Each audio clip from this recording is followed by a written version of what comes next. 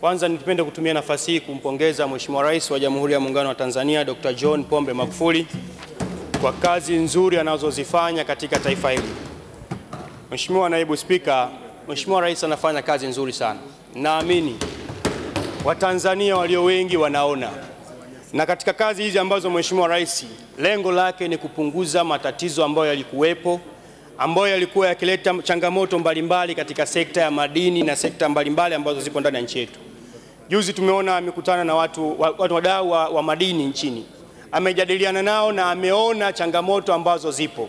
Tumeweza kuona hata baadhi ya wadau ambao wameweza kuchangia, wameweza kuonyesha serikali sehemu ambazo inapoteza mianya ya mapato katika nchi yetu. Hata kule Tanga wameweza kuzungumza habari ya kuna migodi, kuna maeneo ambayo watu wanaitumia migodi ile kwa ajili ya kujinufaisha binafsi, lakini pia wameonyesha namna gani ambavyo baadhi ya watumishi wetu katika serikali hawajibiki ipasavyo. Kwa hiyo Mheshimiwa Rais, mimi binafsi nampongeza kwa kazi nzuri anazozifanya na hatuna sababu ya kuacha kumpongeza kwa hili.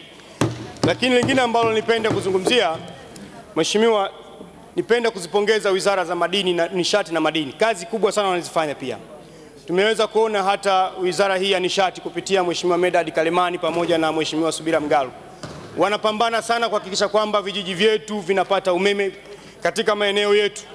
Tumeweza kuwaona wakitembelea vijiji. Mimi binafsi kwa kweli nikisema nitasema uongo, wamekuja mpaka jimboni kwangu mara mbili mara tatu. Hongera sana Mheshimiwa Waziri, hongera sana Naibu Waziri. Hata kamati ilifika maeneo ya vijiji vyetu na baadhi ya vijiji vimeanza kupata umeme katika maeneo yetu. Kwa hiyo zipo jitihada mbalimbali zinafanywa na serikali ya awamu ya tano kuhakikisha kwamba vijiji vyetu vinapata umeme. Zipo changamoto ambazo zimezungumzwa hapa, na katika utekelezaji wa miradi aina yoyote changamoto huwa hazikosekani. Tuangalie namna gani ya kuweza kuzitatua hizi changamoto zetu, lakini miradi inatekelezwa vizuri na mambo yanakwenda, hata kama zipo, lakini ambazo zinaweza kuzungumzika na kuweza kutekelezeka. Kwa mfano, mimi niweze kuishauri tu serikali, serikali itoe fedha kwenye wizara hii ya nishati iweze kutimiza kazi zake kwa wakati. Wanapotoa fedha hizi zitakwenda kulipwa hao wakandarasi ambao wanatekeleza miradi yao. Wakandarasi wataweza kupata fedha ambazo zitawasaidia kununua vifaa ambavyo vitakuja katika utekelezaji wa umeme vijijini.